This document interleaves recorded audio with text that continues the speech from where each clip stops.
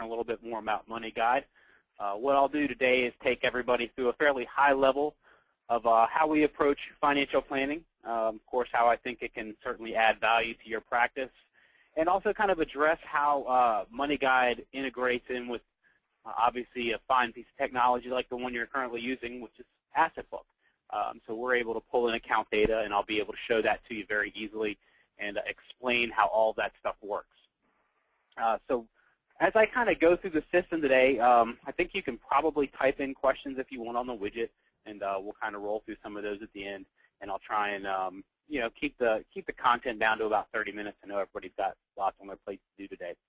Uh, so before I jump in, I just want to point out, you know, Money Guide again is a goal-based financial planning application. So for those of you not familiar with us, um, we really take a lot of pride in what we do out here. We're what's called a best-of-breed application uh, which simply means that we do one thing, and that's where all our passion is, and we integrate with other companies that do their one thing incredibly well. Um, so instead of trying to be all of everything, well, we're one thing at a good price, and uh, we're going to always focus on making that one thing incredibly good. Uh, so we've had, you know, quite a bit of success over the years, and um, we've been doing really well on a lot of the financial planning surveys and, and technology surveys that have been uh, done throughout, you know, the recent years uh, through the FPA and certainly have a pretty well adoption across the um, industry. And today I kind of want to show you why I think you know some of the things that we do have led to that.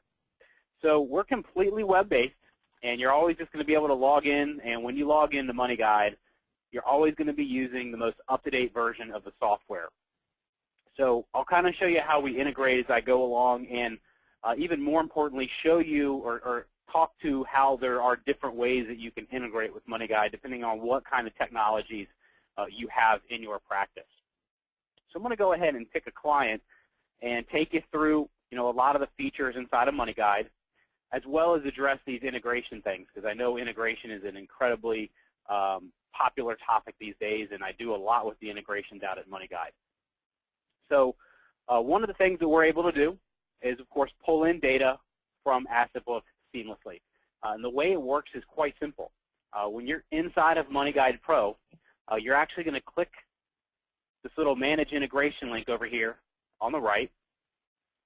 And you'll be able to click the AssetBook logo inside of Money Guide and search for a, a household or a client inside of AssetBook. So in this case, you know, let's say I want to link up um, Bob Johnson's accounts from AssetBook. Now the nice thing about this integration is that it's seamless. I mean, it's completely using the web to do all this data transfer. So really what that means is that you, the user, have a nice clean experience. You don't have to sit there and download files, save them to your desktop, upload them into a different system. You just go in here, you type in this last name, click an Add button, and when you click Done, all the accounts are going to show right up on the screen, and you can pick and choose which ones you don't want to bring in. So in Money Guide, we have significantly more account types than any other application because we need to know the savings components for all these different types of accounts. So you're always going to want to make sure that you just uh, select the type of an account it is on this screen, and then once you link it up going forward, it's always going to be up to date. Every time you go into Money Guide Pro, it'll be up to date for you. So you just click Continue, and just like that, I can go into my, the profile of my client, and before I jump into the system, I can see that all my account data is there. Oops, sorry, having an issue. I'll show you that in a different view in just a second.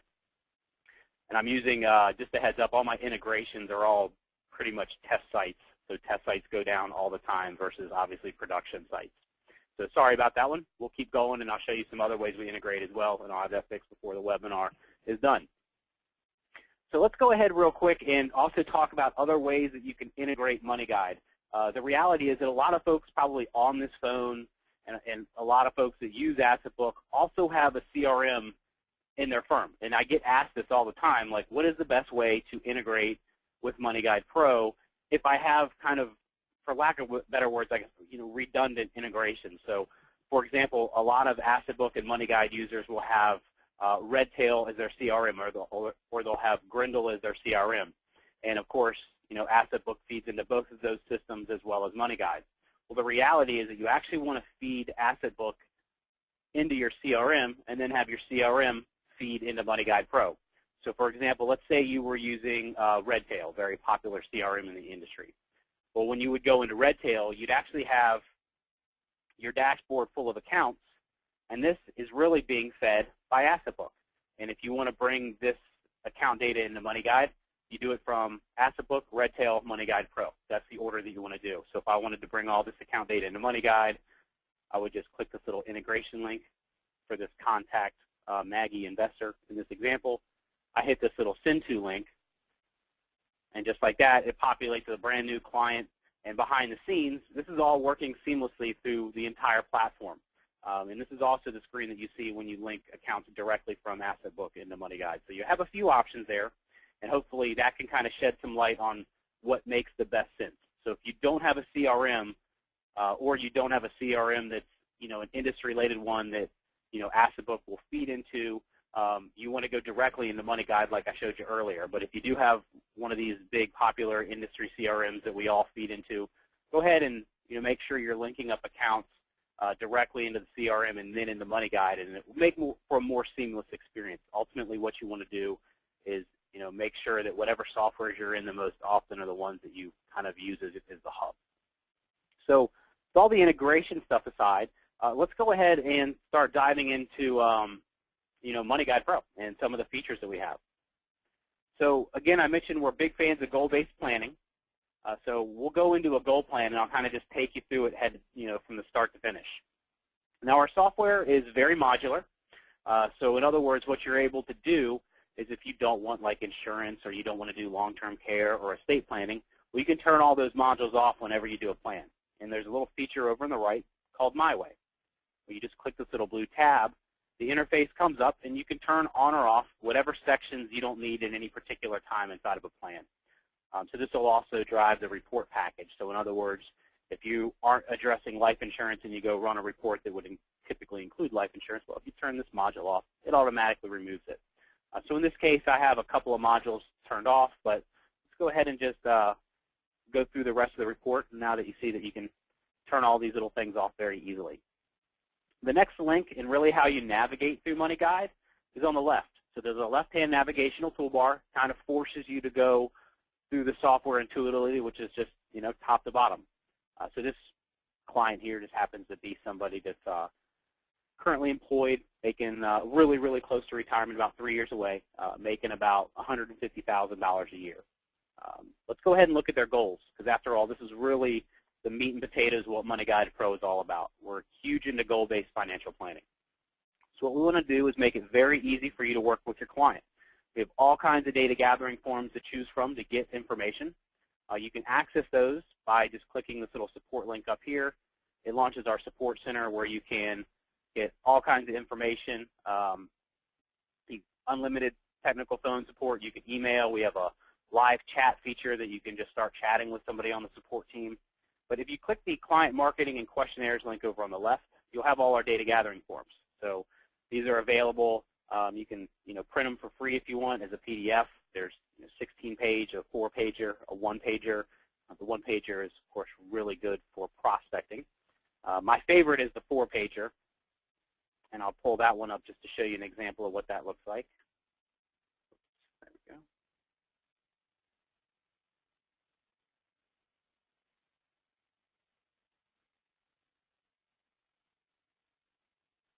So there's just a nice cover page. Here's your first page of data that the client needs to enter, the second page, and then the back. And you can brand all these with your company uh, company logos as well. Uh, so we call it a four-page data gathering form, but it's really only two pages of data that your client has to enter. So I'm a big fan of those shorter ones because the reality is that the hardest part of planning isn't entering data into the software, isn't preparing the plan, it's getting the data back from your client. So in my opinion, the shorter those data gathering forms are, the faster the all-around process is. So in this case, what I have here is a bunch of goals for my client. I got a retirement living expense, which is kind of designed to um, cover, you know, food, roof over their head, bills, things like that. And then I have some more discretionary goals broken out. Uh, I have a college goal where we have our uh, child here, Emily, going to pretty much the best college in the country, which of course is Virginia Tech. Uh, we also have some car goals in here. So I wanted a new car for Margaret every six years, and I wanted a new car for John every four years, or that's what they wanted anyway. And the other thing that you can do with these goals is set up these different time horizons for them. So for travel, you know, our client was like, look, we want to make sure we have a good travel goal, but we don't necessarily need to travel until the day we die. So what they did was they said, Look, just make sure we can travel for the first 20 years of retirement. So we set up all these different goals. Uh, we have the add buttons down below that you can click on any goal you want. Uh, we even have a goal builder. So if you want to use the software right there in person with the client, you can go in and uh, go ahead and just start adding goals right through the goal builder. Now this is a more wizard type of approach to planning. So what we have here is really just a step-through process, an educational way to get the client thinking about different goals. Our first page of the goal builder is the retirement period. Um, so, you know, what is the current age of the client? What's their target retirement age? How willing are they to work past that retirement age, or that target retirement age anyway? Um, you know, what is their life expectancy?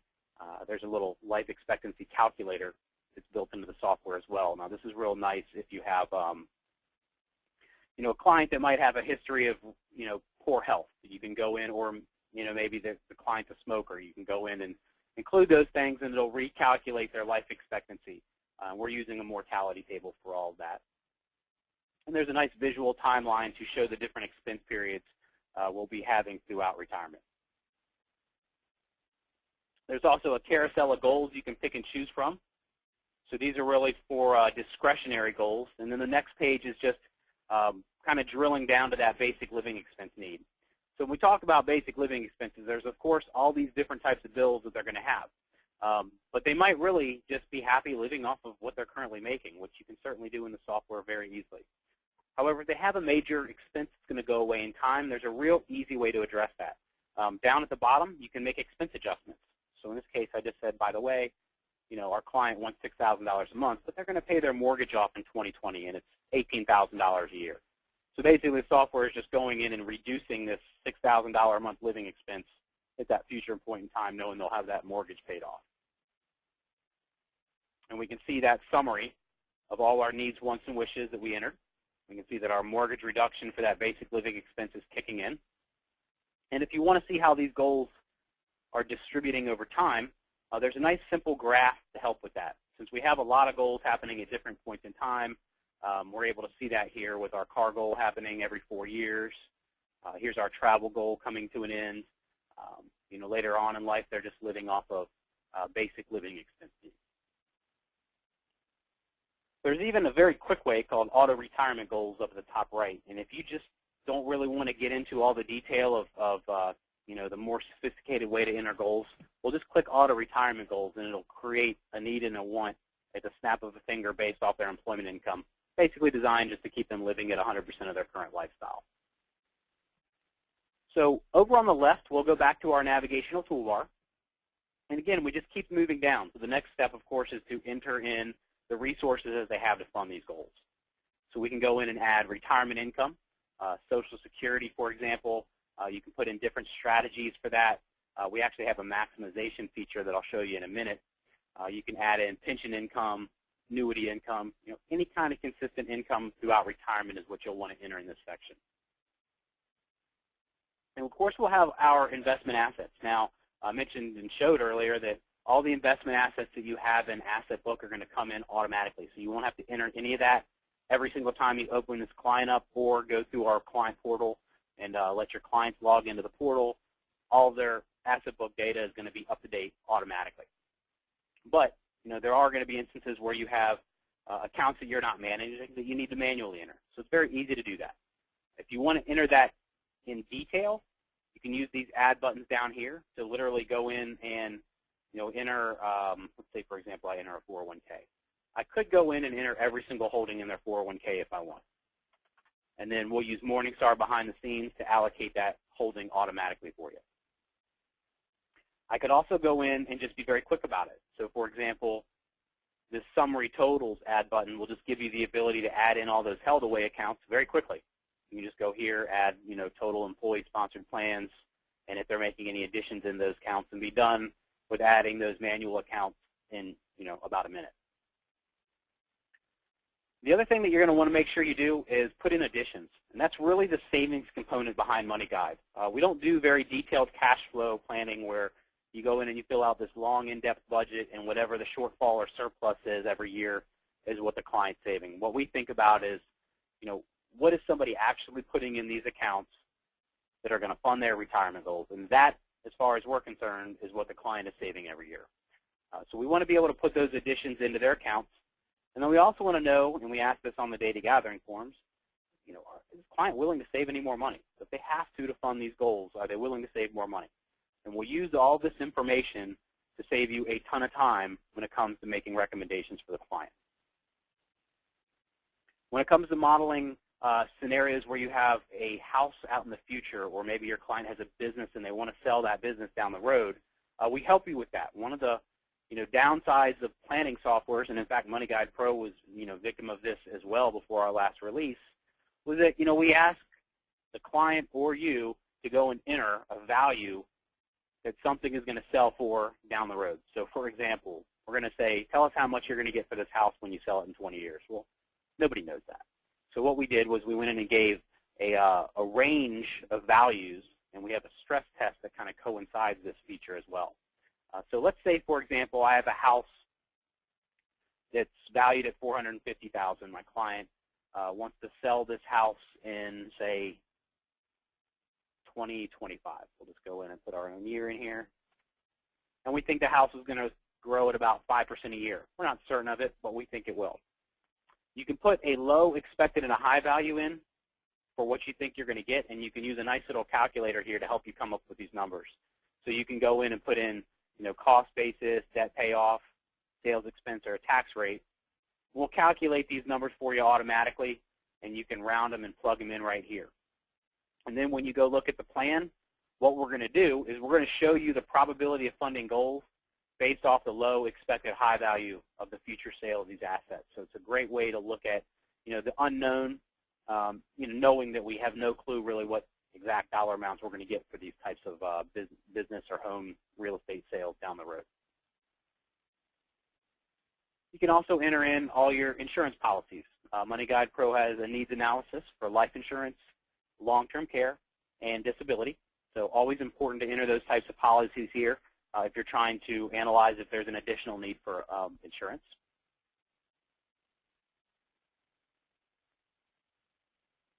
then you enter liabilities, and that'll feed you right into our net worth statement. Uh, so this is another feature that's available in our client portal. Uh, very nice because, of course, the client can log in, see their net worth, and whenever they log in, they're always going to be seeing up-to-date account values uh, powered by AssetBook. The next step in this process now that we just finished all the data entry. So that's really all the data entry that you need to do in MoneyGuide with the exception of plugging in their uh, risk score. And this is a very unique feature to MoneyGuide. So what we call this is loss tolerance, and I think this feature coincides a risk tolerance questionnaire very well. Um, because let's be realistic, you know, I don't think risk tolerance questionnaires do a magnificent job, and I think the vast majority of advisors will agree with me, on really determining uh, what level of risk a client can handle in the market. You know, at the end of the day, what we're really trying to determine is what's the maximum amount of pain and agony a client can take before they pick that phone up, they call their advisor, and they say, bail me out, you know, get me to cash, inevitably lock in those losses. So this is a feature designed to really educate what a, educate your clients on what risk tolerance is really about questionnaires don't really get into that very often. Uh, so what we did in this feature was we gave the client and the spouse the ability to score themselves. So what they can do is they can go in and update their own individual risk scores. And the idea behind this is, you know, you ask the client and you ask the spouse to rate themselves on a scale of 0 to 100. How risky do they feel that they are? Uh, where, you know, 0 obviously being pure cash or putting your cash under the mattress and, you know, obviously 100 being very, very risky or full equity or um, you know, full global market or something along those lines. So what you can do is you can put in the risk score they give themselves. You can do the same thing for Margaret. And then you can pick a household level risk tolerance for the individuals. And we're going to summarize this and bring it all into context in just a second. Uh, so in this example, here's you know, John and Margaret's score. We can pick something in the middle, and we're going to be able to summarize what all these scores mean on this page. Uh, so what this does is it goes in and says, what does that risk-based portfolio look like? You know, what kind of average return would that portfolio look like? How much you know, stock, bonds, and cash would it have? Or if you do alternatives, that would show up there as well. Um, another important feature, uh, clients, and this is a lot of research has been done on this, but clients like to know how they compare to other people like them. Uh, so this bell curve does just exactly that. It is comparing these individual scores to other individual or other either single or married individuals in their demographics. So we can see that here's how they scored. In this example, our client is about an average risk taker. Obviously, if this thick black line was farther right or further left, we'd know that they are not average when it comes to risk score. And then we take it a step further. Um, so when we take it a step further, we really get into the meat and potatoes of what you know risk tolerance is all about. And what we're doing is just showing what this portfolio would have lost during the bear market.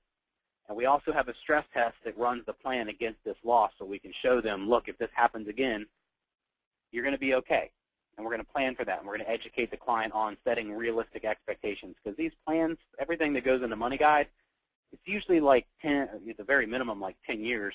Uh, typically, they're 20, 30, even 40-year-long plans, and they're going to go through market losses and downturns in that long of a time. There's just no way around it. So we want to make sure that clients understand that this stuff is going to happen, but we're planning on it. I mean, we're planning and we're making sure that they can get through those times. Uh, we also do allocation in the software. So we'll take all those ticker symbols that come over from AssetBook, and we'll determine their current allocation in addition to the accounts that you enter manually. Uh, so we're able to see what the, how they're currently allocated, what that return would look like, Great Recession loss, um, standard deviation. You can customize all these asset classes that you see on the screen. So there's about 9 or 10 that come out of the box. And then we can look at their target band, so where are they currently allocated, and what are we recommending to the client. So here's where they scored on their loss tolerance, and here's the portfolio that we're recommending. You could change the recommended portfolio very easily, and you can customize all these portfolios that we see in this list as well. Uh, there's even a efficient frontier graph down at the bottom that plots everything. So from there, it's really on to results.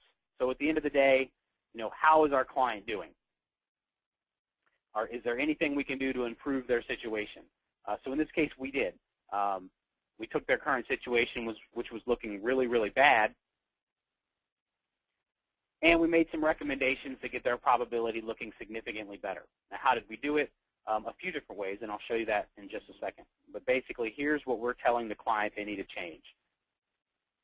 We detail everything. Um, you can go in and you know drill down to more specific details if you want, but we're basically changing a lot of their goals around, uh, recommending that they work a little bit longer. And the way that we do that is through a couple of features, uh, one called the Play Zone. In the Play Zone, what we do is we give you the ability to um, go in and work with the client. So what they're able to see is maybe, you know, maybe they don't like their recommendations. Maybe there's plenty of things they would rather have, and they don't really need a 99% probability of success. This is ultimately a Monte Carlo result. And if you know a lot about Monte Carlo, you're not really typically shooting for 99%. You're usually shooting for something in the 70s or 80s. Um, so you can go in very easily, and you can change different assumptions in the plan right there with your client. Very interactive. Um, you can move all these different goals around. See what happens if uh, they work a little bit longer, you know, maybe we can get them to take more money when they retire. And if you like the changes that you make, well, you can do, just go and make that your new recommendation by saving this. I won't do that here because I kind of destroyed the plan. If you want to get more detailed, you can click the what if worksheet. Now the what if worksheet is going to let you do up to four different what if scenarios all at once. So this is a more detailed page. I'll be the first to admit that it absolutely um, has a little bit more learning curve than the rest of the software. Uh, and the reason is because we want it to be very flexible for the advisor. This is where you go if you want to get really detailed with your recommendations.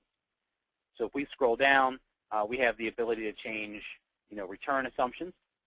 You can go in and change the uh, before retirement and during retirement portfolio allocations. We could adjust for fees. We could change the inflation rate. We can change every aspect of their goals. We could change future tax assumptions if we wanted to. Uh, we can even go in and implement different strategies. So what if we wanted to recommend converting some of their qualified money to an annuity with a guarantee? Uh, we can do all that on this page, recalculate, and see how it affects their probability of success. It's a very powerful way to present your client with different options, or you can just use the play zone and create one recommendation for them.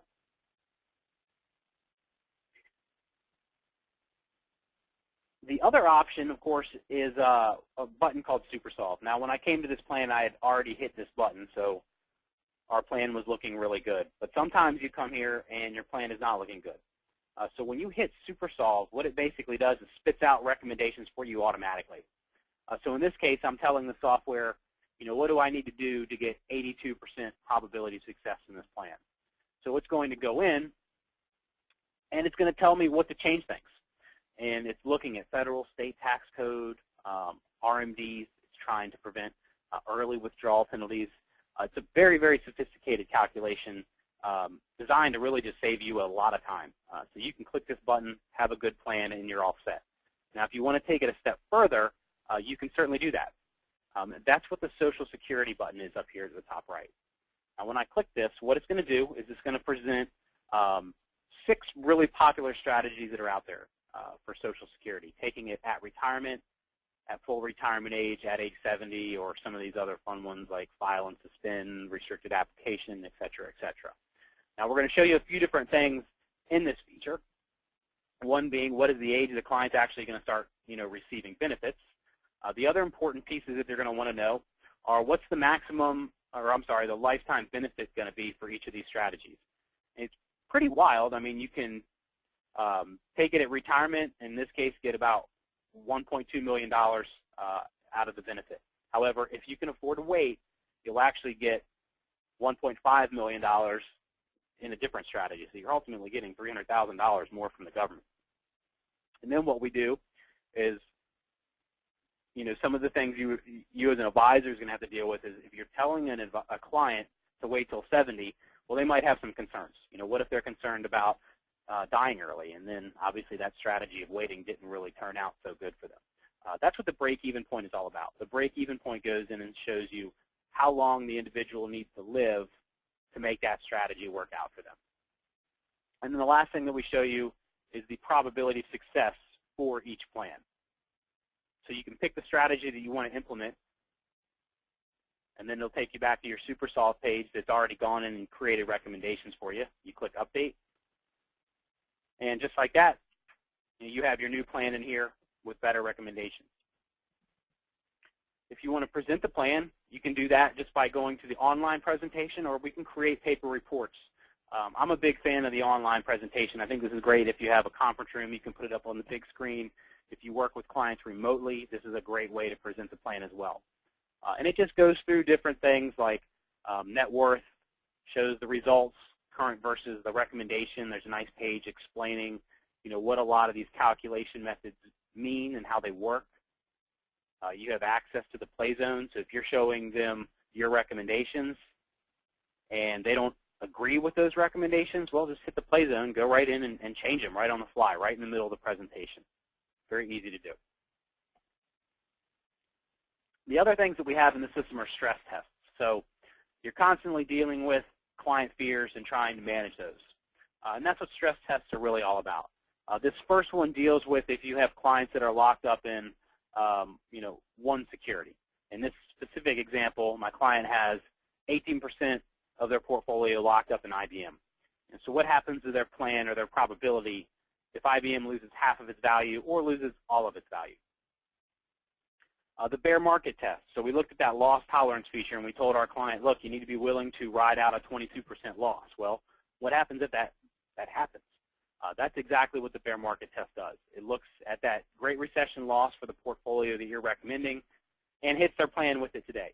Uh, and when you do things like this, you, you're really trying to center around funding needs. I mean, the wants and the wishes, they're not as important when you're literally talking about, you know, a, an equivalent to, a loss equivalent to what we just had four years ago. I, I think that'd be obviously devastating. So if that were to happen, if you can get needs, you're doing pretty good. And I think your client would be okay for the most part.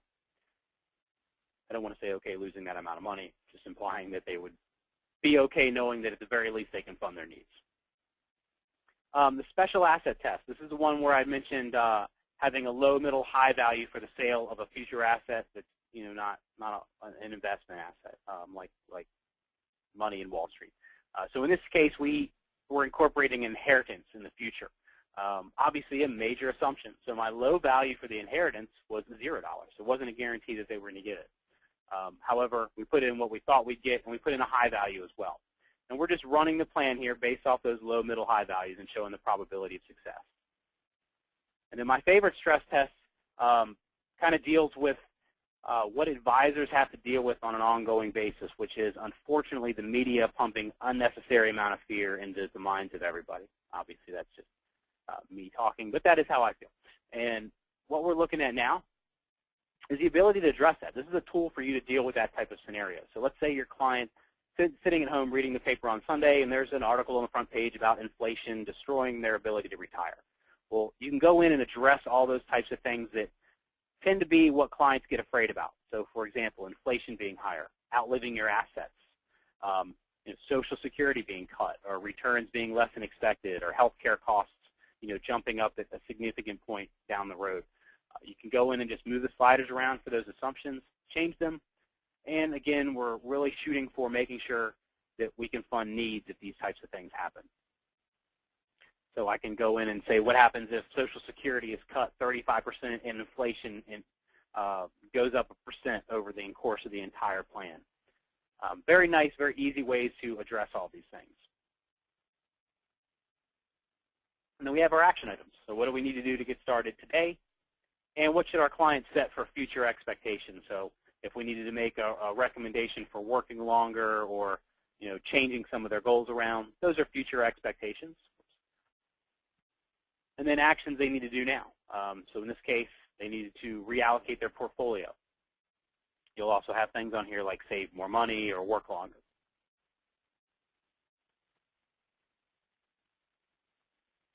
Uh, we also timestamp the reports, uh, so their net worth and their probability of success. So every time you review these plans with the client, we can timestamp that result so they'll have a way of seeing where they've come from in terms of their long-term plan, and of course in terms of their net worth. I mentioned that we did have life insurance, so I'll just touch on some of this stuff briefly for the sake of time.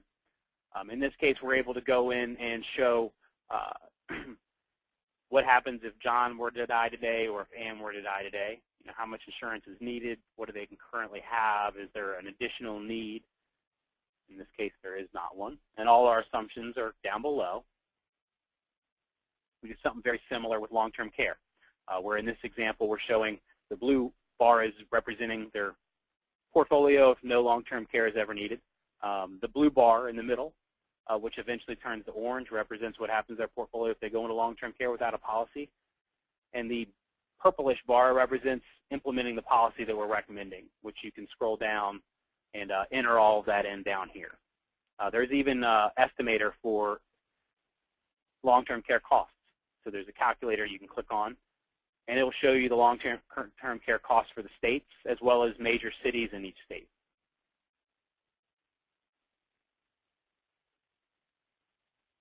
And for the folks that like lots of detail, I'm going to jump back real quick and just show you that we do have lots of different cash flow details and things like that you can see in the software if you want. I'm a big fan of this for the advisor. I think at the end of the day, the advisors really need to believe in the numbers they're seeing. Um, whether or not clients need to see this level of detail, I guess, is um, you know, up to you or up to them. But we do have all these types of things where you can track, you know, the individual years and things like that in the software. I'll show you a few other ones as well. It's just cash flow graphs. Um, here's a more traditional cash flow chart, line iteming the details of every single year.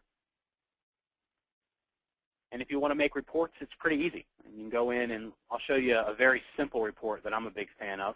Um, I like to keep it really short and sweet. Um, you know, a lot of the advisors that I talk to really like that. They don't care for, you know, 200-page long financial plans. It's not that we don't have those in Money Guide. Um, we just, I or I just feel that a lot of people that I talk to don't really want to present all that to the client. And truth is, I don't really know. I think that probably confuses the client a lot of the times. Uh, so this is a really simple 10-page report. That's actually 14 pages, but just goes through their goals, uh, here's that graph just showing how the goals distribute over time and how inflation impacts them. And we just jump straight to our net worth page. And this is just the detail behind the net worth. Here's our risk assessment page. And then, you know, here's where they currently are versus what we're recommending. And all the changes are over on the far right in the column that's labeled change in value. And if you ever want to see more reports that we have in the software, um, if you just go to our homepage, where our 14-day full version free trial is that you can actually integrate with AssetBook while you're inside of the free trial. Uh, you can also go to the very top and click the link that says sample reports. And here's a whole, um, you know, whole bunch of options for you. There's even one in here that is 217 pages long. It's a good example of everything you can pick and choose from because you can certainly make um, custom report templates in the software very easily. And the last thing that I'll touch on is the client portal. Um, so I mentioned earlier that when clients log in, they're able to see things that are up to date, courtesy of our integration with AssetBook. So when the client logs in, this is basically the interface that they see. Uh, they can you know, move around the different tabs up at the top. They can see their probability. They can see their net worth. And they have access to the um, features I was showing you earlier, like the one that was uh, called What Are You Afraid Of? Like this addresses a lot of the concerns that we see uh, clients or investors having these days. They can go to the play zone and do very simple what-ifing. They don't really get to that detailed what-if worksheet, but if they want to go do um, some simple stress tests, they can. And this doesn't overwrite the advisor data. It actually gives them the ability to save as a client favorite. So if they go in and make a scenario, they can save it as the client favorite, and then when they come in know, their next meeting, you can actually pull up what they thought about doing for their retirement needs um, versus what you were recommending to them. So that's kind of a high-level overview of how the software works. Um, we have all sorts of different pricing models. Um, we do individual pricing uh, for just a solo one-man shop or one-woman shop, and those uh, are $1,300 a year. And we have discounts with different custodians. We have team pricing for firms that work um, and have multiple advisors or work as teams and kind of service all the same clients. We even have um, enterprise pricing if you have, you know, usually like 15 or 20 advisors. Um, but what I'll do now is I'll see if there's any questions that came in uh, through the uh, little webinar widget. Yeah, Kevin, we have one question here, and okay. uh, currently, and it says, "Will you ever push data to AssetBook?" And they said, "I'm thinking of Cash Edge account aggregation. This would be less expensive than to use file accounts through AssetBook." Um, I guess uh, a key thing that we would want to determine is, is there, like, are you trying to do performance reporting if we're pushing that kind of data to AssetBook? Um, because we're currently talking about some new uh, new integrations that we're going to be doing to expand the current AssetBook integration. So we're going to be pushing their net worth, which would include, you know, everything, the liabilities, any aggregated accounts from um, Cash Edge if you had that linked in, uh, I think we're going to push the probability of success meter over. Um, don't currently have a way to push data. Uh, however, I'm always open to that type of thing, and I'm absolutely willing to consider it. I just the truth is, I, I really don't have a whole lot of users taking advantage of Cash Edge currently, but uh, that could absolutely change. Uh, so definitely something we'll consider. Okay, we have another question. Uh, Kevin, the next question is, what is the team pricing? Um, the team pricing is pretty much based off of uh, a firm's ADV. So if you report uh, ADV to the SEC, sorry for the bajillion acronyms, um, we base it off of the number of investment advisors in the firm. So if you have, you know, five investment advisors in your firm, the team pricing is $3,000 a year, and that gives access for all five advisors, gives access up to five assistants. Um, the firm owns the data, and uh, then it goes up from there. So if you have up to 10, it's uh, $6,000 a year, and up to 15 is 9,000, and then it then it goes on from there. Okay. All right, that's all for our questions. I don't see any other questions. Any, if anyone else has an additional question you'd like to ask, uh, feel free to do that now. Um, but Kevin, we thank you for your time today. That was very informative and very helpful, and I'm sure for folks considering your package, uh, that's just what they needed to see. Well, thank you very much. Always appreciate the opportunity, and uh, hopefully I can get up to the uh, beautiful location where your facilities okay. are located. Okay. Well, I tell you what, Kevin, can you provide us with contact information? How can people get in touch with you? Absolutely. Um, to contact Money Guide, if you just hit this uh, contact us link on our homepage, moneyguidepro.com, our support number is up there, and for sales, our number is on here as well. So uh, 800-841-5312. And if you want to Very speak to me personally, my extension is 131, and again, my name's Kevin. All right. Well, Kevin, thank you so much. Again, we really appreciate your time, uh, and we look forward to a long and lasting relationship with you. Thank you very much. All right. Thanks, you have everybody. a great day. Take care.